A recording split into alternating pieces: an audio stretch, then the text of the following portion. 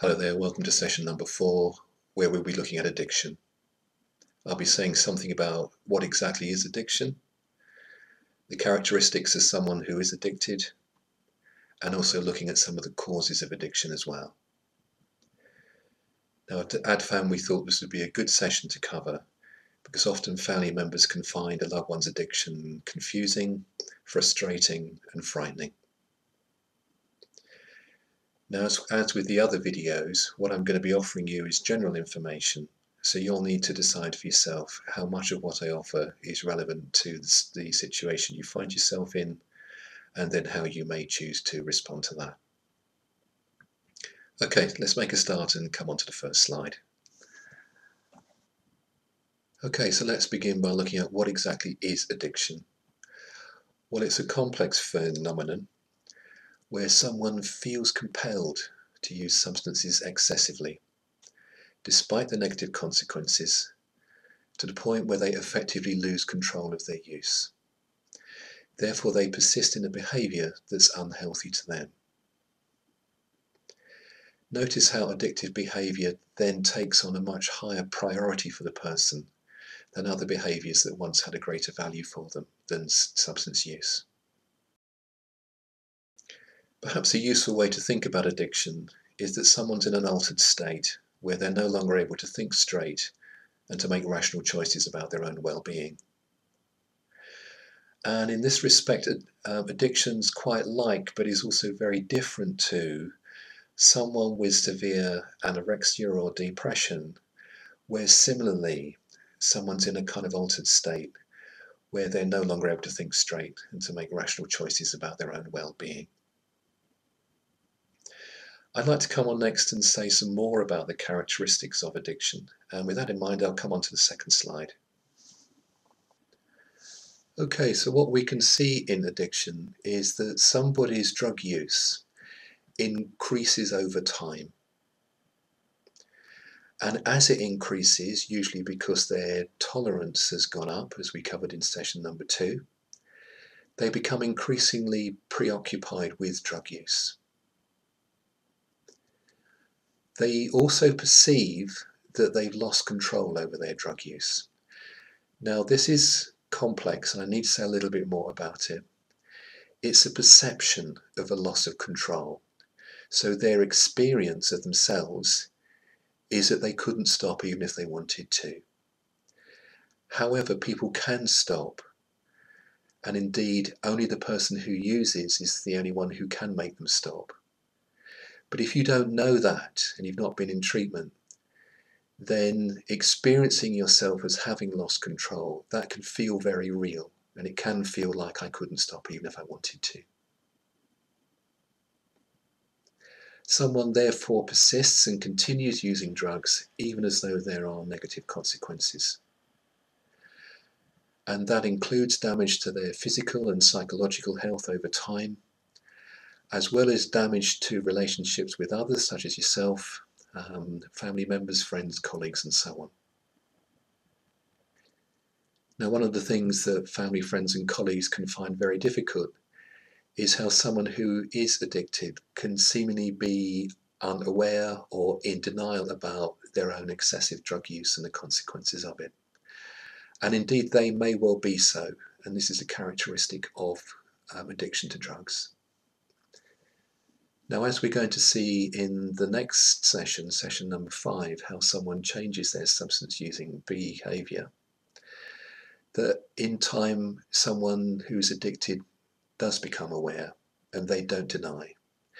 But even when they've reached this stage, they can still have real difficulty in controlling their substance use. What I would add in addition to those characteristics is that someone's addiction can happen in two different ways. Their body may become addicted to a substance or dependent, as the jargon puts it. True of depressant substances that we were looking at in session number two. And then with all substances, someone can get a psychological addiction. And it's important to know the difference between those two because it would affect the kind of treatment that they have. Now, I hope you're beginning to see from these characteristics that your experience of their addiction is very different from their own experience of their substance use. So, what may seem really obvious to you may not be at all relevant to them, or they may not even be aware of it. Now, this is confusing and frightening, and I think it's important that we come on and say something about what is it that's happened to someone? What are the causes of addiction that lead to someone being in such an altered state? And with that in mind, I'd like to come on to the third slide. What I have here is the first of two slides that look at current ideas about the causes of addiction. The first bullet point I've got here is this idea that someone has an addictive personality. Whilst this might be a common idea, often spoken about in the media, the research is not actually finding evidence for this. So if it's not just the way someone is, then what does cause it? Well, I've got several ideas to share with you, and perhaps before we go much further, it's important to recognize that no one idea explains someone's addiction. It's usually a combination of a number of these points I'm going to raise. The first one is uh, genetics. This explains some, but not all, of addiction. For example, there are studies of identical twins that show that those who have an addiction to alcohol, something like 50 to 60% of their addiction is uh, genetic. And that means that the remaining 40 to 50% is to do with other factors, such as the en environment in which they grew up with. The next idea I'd like to offer you is particularly important for the start of addiction, and it concerns the development of two circuits in the brain. One circuit can be termed stop, which is the one that we use to manage our impulses, and the other can be termed go, which seeks rewards. Now, during our teenage years and early 20s, the go circuit comes online and is fully formed, but the stop circuit hasn't fully matured until well into our 20s. What this means is that this period of development is critical for substance use, in that someone's experimentation may become more frequent and also prolonged.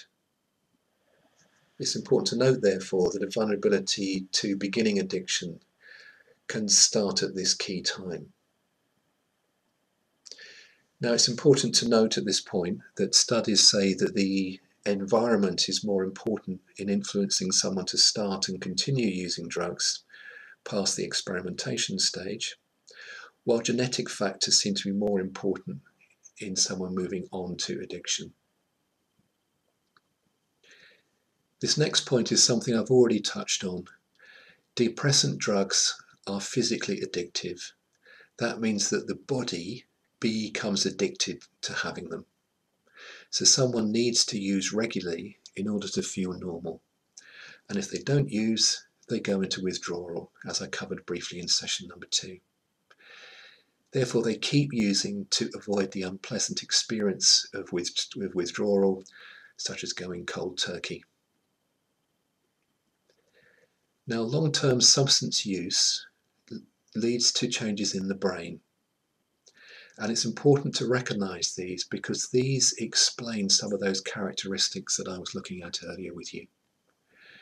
Long-term use can disrupt the circuits that are involved in motivation and attention, in someone's ability to make decisions, and inhibiting their impulses and urges. And the result is that these changes in somebody's brain through addictive substance use focus their attention increasingly on drug use, they increase cravings, and they impair someone's appreciation of the consequences of using. So notice those characteristics again. Someone feels compelled to use, they're preoccupied with using, and they can't see what may be really obvious to you about the negative impact that their substance use is having. The next bullet point I have here is this idea of self-medication, which I spoke about in session number three. This is where someone has found that using substances is their best or perhaps only way they have to regulate emotions that feel overwhelming, such as shame and trauma.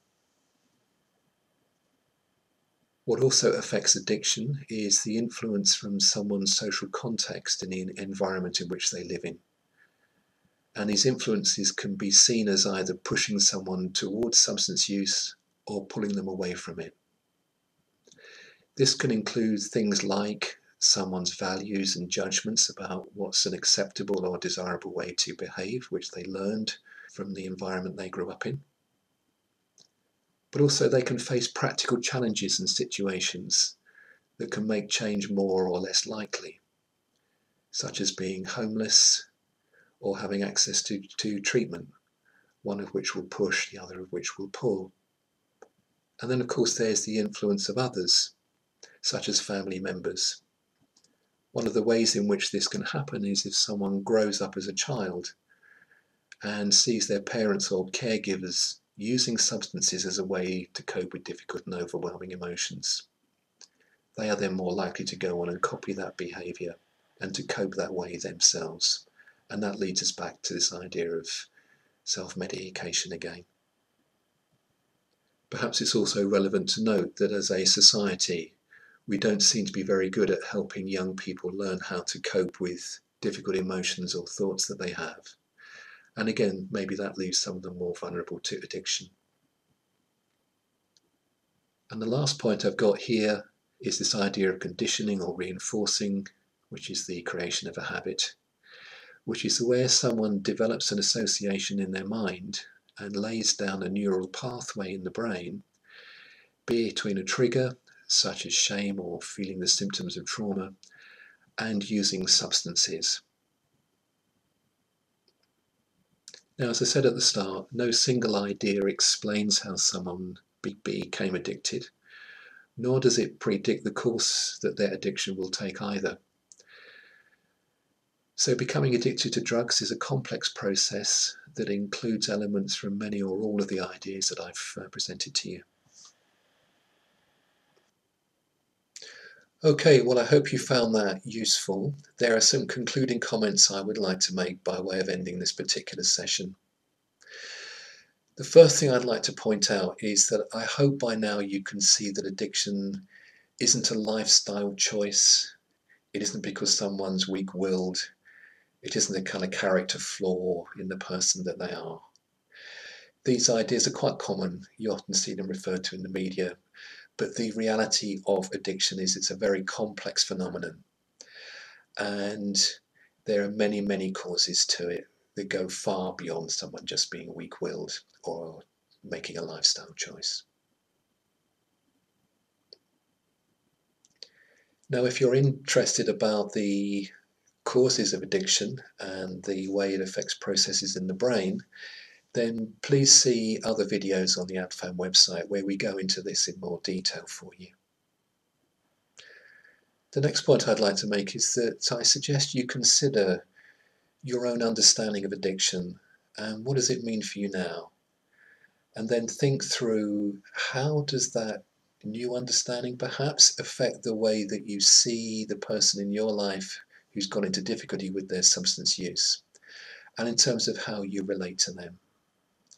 And an example of this may well be the realization that, at least for much of the time, they're not going to be open to reasoned argument and persuasion by yourself.